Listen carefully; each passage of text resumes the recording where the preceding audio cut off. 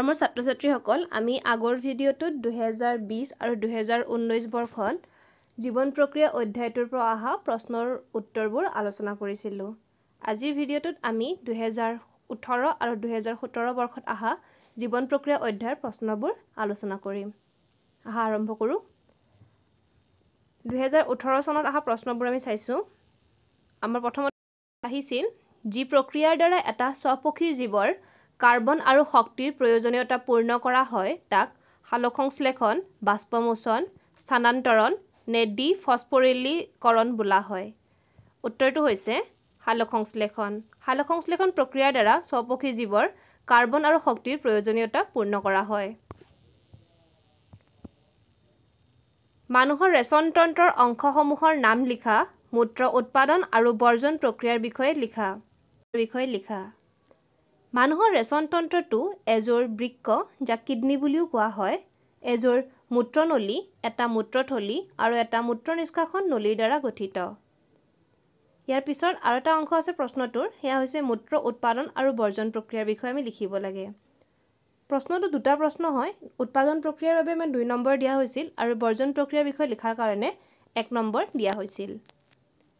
বৃক্ষই দেহৰ অতিৰিক্ত পানী আৰু বিপাক ক্ৰিয়াত সৃষ্টি হোৱা বিভিন্ন প্ৰকাৰৰ অপ্ৰয়োজনীয় আৰু ক্ষতিকাৰক বিশেষকৈ নাইট্ৰজেন জাতীয় উপজাত পদাৰ্থ অৰ্থাৎ দ্ৰব্যবোৰ তেজৰ পৰা পৃথক কৰি দেহৰ পৰা মূত্ৰ হিচাপে অপসাৰণ কৰে। বৃক্ষই এই কাৰ্য নেফ্ৰনৰ বিভিন্ন অংশৰ দ্বাৰা সম্পন্ন কৰে। শৰীৰত সৃষ্টি হোৱা বিভিন্ন ধৰণৰ বৰ্জনীয় পদাৰ্থসমূহ তেজৰ লগত মিহলি হৈ গ্ল'মেৰুলাছলৈ আহে। গ্ল'মেৰুলাছে এইবোৰ পৰিশ্ৰৱণ কৰি বোমন্স কেপচুললৈ পঠিয়ায়। তাৰ পৰা পৰিশ্ৰুত তৰল বৃক্ষনলিকাৰ মাজেৰে পাৰ হৈ যাওঁতে পৰিশ্ৰুত তৰলত থকা পানী গ্লুক'জ এমিন' এচিড লৱণ আদি দেহৰ প্ৰয়োজনীয় কিছু অংশ পুনৰ শোষিত হয়। তাৰ পাছত ৰখি যোৱা অংশটো সংগ্ৰাহক নলিকাত প্ৰৱেশ কৰে যিয়ে বৰ্জিত পদাৰ্থ অৰ্থাৎ মূত্ৰখিনি মূত্ৰথলীত নি জমা কৰে। আৰু মূত্ৰনলীৰ আৰু শেষত মূত্ৰথলীৰ চাপৰ ফলত মূত্ৰনলীৰে মূত্ৰ বাহিৰ ওলাই আহে। মূত্ৰথলীটো পেশীযুক্ত হয় আৰু সেইকাৰণে ই স্নায়ুৰ দ্বাৰা নিয়ন্ত্ৰিতও হয় আৰু যাৰ বাবে আমি পেচাব কৰাৰ তাৰণাক নিয়ন্ত্ৰণ কৰিব পাৰোঁ। আৰু এটা প্ৰশ্ন আহিছিল উচ্চ খাপৰ উদ্ভিদৰ পৰিবহণ তন্ত্ৰ অংগসমূহ কি কি? উদ্ভিদৰ দেহত পানী আৰু খনিজ লৱণ কেনেদৰে পৰিবাহিত হয়? উদ্ভিদৰ দেহত পানী আৰু খনিজ লৱণ পৰিবহণত বাষ্পমোচন প্ৰক্ৰিয়াৰ ভূমিকা কি? উচ্চ খাপৰ উদ্ভিদৰ সংবহন বা পৰিবহণ তন্ত্ৰটো জাইলেম আৰু ফ্ল'য়েম নামৰ দুবিধ কলাৰ দ্বাৰা গঠিত। উদ্ভিদ দেহত পানী আৰু খনিজ লৱণৰ পৰিবহণ। উদ্ভিদ দেহ উদ্ভিদ দেহত পানী আৰু খনিজ পদাৰ্থৰ পৰিবহণ জাইলেম নামৰ কলাৰ দ্বাৰা সংঘটিত হয়। জাইলেম কৰাৰ নলিকাবিলাকে উদ্ভিদৰ শিপা কাণ্ড আৰু পাতৰ পৰস্পৰৰ মাজত সংযোগ হৈ গোটেই দেহটোৰ বিভিন্ন অংশলৈ পানী সৰবৰাহ হ'ব পৰাকৈ এটা সংবহন সুঁতিৰ সৃষ্টি কৰে। আকৃতি প্ৰক্ৰিয়াৰ সহায়ত শিপাৰ ভিতৰলৈ পানী সোমায় ফলত শিপাৰ জাইলেমলৈ নিয়মীয়াকৈ পানীৰ প্ৰৱাহ চলি থাকে আৰু ইয়েই পানীৰ স্তম্ভ এটা সৃষ্টি কৰি পানীৰ ওপৰমুৱা গতিৰ বাবে চাপ দি থাকে। বাষ্পমোচন বাষ্পমোচন প্ৰক্ৰিয়াও পানী আৰু তাত দ্ৰৱীভূত হৈ থকা খনিজ লৱণবিলাক শোষণ আৰু শিপাৰ পৰা পাতলৈ ঊৰ্ধ্বমুখী গতি লাভ কৰাত সহায় কৰে। এতিয়া আমি আহিম প্ৰশ্নটোৰ তৃতীয় অংশলৈ। উদ্ভিদত পানী আৰু খনিজ লৱণৰ পৰিবহণত বাষ্পমোচনৰ ভূমিকা কি? বাষ্পমোচনৰ ফলত উদ্ভিদ দেহৰ পৰা বাষ্প আকাৰে পানী ওলাই যায় ফলত পাতত এটা শোষণ বলৰ সৃষ্টি হয় আৰু ইয়াৰ বাবেই শিপাত থকা জাইলেম কলাই পানী শোষণ কৰিবলৈ বাধ্য হয়। এইদৰে বাষ্পমোচনে পানী আৰু তাত দ্ৰৱীভূত হৈ থকা খনিজ লৱণবিলাক শোষণ আৰু শিপাৰ পৰা ঊৰ্ধ্বমুখী গতি লাভ কৰাৰ ক্ষেত্ৰত সহায় কৰে। এতিয়া আমি দুহেজাৰ সোতৰ বৰ্ষত অহা প্ৰশ্নবোৰ আলোচনা কৰিম। শ্বেতসাৰক সৰল শ্ৰেণীলৈ ৰূপান্তৰ কৰা উৎসেচকটোৰ নাম হ'ল এমাইলেজ লাইপেজ পেপচিন নে ট্ৰিপচিন? উত্তৰ হৈছে এমাইলেজ। মানুহৰ উশাহ নিশাহ প্ৰক্ৰিয়া বৰ্ণনা কৰা জল জলচৰ প্ৰাণীৰ শ্বাস প্ৰশ্বাসৰ হাৰ স্থলচৰ প্ৰাণীৰ হাৰতকৈ কিয় বেছি?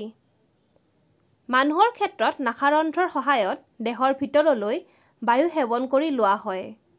নাকৰ বিন্ধাত থকা নোম আৰু শ্লেষ্মাই ভিতৰলৈ অহা বায়ুখিনি চেকি লয়।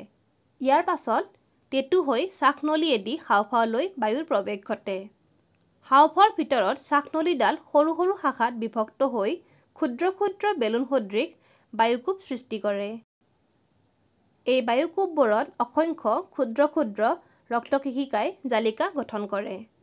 উশাহ লোৱাৰ সময়ত আমাৰ কামিহাড়বোৰ ওপৰলৈ তুলি দিয়াৰ বাবে মধ্যচ্ছদাখন নিম্নগামী হয় আৰু বক্ষ গহ্বৰটো ডাঙৰ হৈ পৰে। ফলত হাওঁফাওৰ ভিতৰত বায়ু প্ৰৱেশ কৰি বায়ুকোপবিলাক বায়ুৰে পৰিপূৰ্ণ হৈ পৰে। দেহৰ বিভিন্ন অংশৰ পৰা তেজ কঢ়িয়াই অনা কাৰ্বন ডাই অক্সাইড বায়ুকোপবিলাকত এৰি দি ইয়াত থকা অক্সিজেন ৰক্তজালিকাই শোষণ কৰি লয় আৰু পিছত দেহৰ বিভিন্ন কোষত বিতৰণ কৰি দিয়ে। পাৰিলে ইয়াত তোমালোকে মানুহৰ যিটো হাওঁফাওৰ চিত্ৰ থাকে সেইটো অংকন কৰি দেখুৱাব যত্ন কৰিবা। সেইটো কেনেদৰে অংকন কৰিব লাগে সহজে আমি এটা ভিডিঅ'ত আলোচনা কৰিম। এতিয়া আহিল জলচৰ প্ৰাণীবোৰৰ উশাহ নিশাহৰ হাৰটো কিয় স্থলচৰ প্ৰাণীবোৰতকৈ বেছি হয়? স্থলচৰ প্ৰাণীবোৰে বায়ুমণ্ডলৰ পৰা পোনপটীয়াকৈ অক্সিজেন গ্ৰহণ কৰাৰ বিপৰীতে জলচৰ প্ৰাণীবোৰে পানীত দ্ৰৱীভূত অক্সিজেনহে শোষণ কৰে। যিহেতু পানীত মিহলি হৈ থকা অক্সিজেনৰ পৰিমাণ বায়ুত থকা অক্সিজেনৰ পৰিমাণতকৈ তুলনামূলকভাৱে কম সেইকাৰণে জলচৰ প্ৰাণীয়ে স্থলচৰ প্ৰাণীতকৈ খৰকৈ উশাহ লয়। আৰু এটা প্ৰশ্ন আছিল সালোকসংশ্লেষণ কি? সালোকসংশ্লেষণৰ সময়ত হোৱা মুখ্য ঘটনাসমূহ কি কি? উদ্ভিদে কেনেকৈ কাৰ্বন ডাই অক্সাইড গেছ শোষণ কৰে?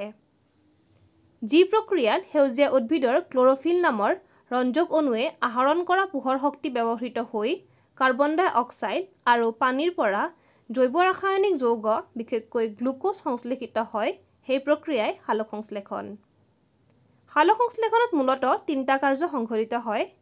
প্ৰথমটো হৈছে পোহৰ শক্তিক পত্ৰহৰিতৰ দ্বাৰা শোষণ পোহৰ শক্তিক ৰাসায়নিক শক্তিলৈ পৰিৱৰ্তন আৰু পানীৰ অণুক হাইড্ৰজেন আৰু অক্সিজেনলৈ পৃথকীকৰণ। আৰু শেষত কাৰ্বন ডাই অক্সাইড বিজাৰণৰ দ্বাৰা কাৰ্বহাইড্ৰেট উৎপন্ন। উদ্ভিদে পত্ৰৰন্ধ্ৰৰ সহায়ত ব্যাপন প্ৰক্ৰিয়াৰে বায়ুমণ্ডলৰ পৰা কাৰ্বন ডাই অক্সাইড গেছ আহৰণ কৰে। পাতৰ উপৰিও কাণ্ড আৰু শিপাৰ উপৰিভাগৰ যোগেদিও গেছৰ আদান প্ৰদান হয়।